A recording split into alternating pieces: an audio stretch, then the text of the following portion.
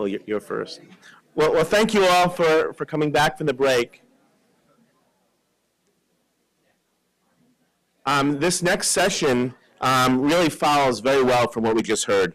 Um, and uh, because, of course, everything sort of comes together as we think about how to translate uh, these uh, lab advances to patients with cancer.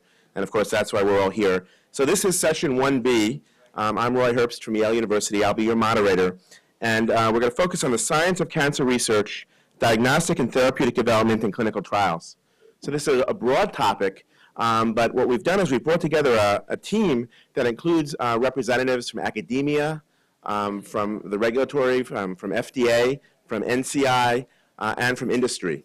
So we really have a panel that can answer many of the questions that are so critical to how we're going to collaborate, how we're going to use this new genomic information, how we're going to do the proper regulatory um, uh, uh, filings, and how we're going to then use this uh, information to help patients. So what we're going to do is we're going to have each person speak. Some will use slides, some will not, uh, for about eight minutes.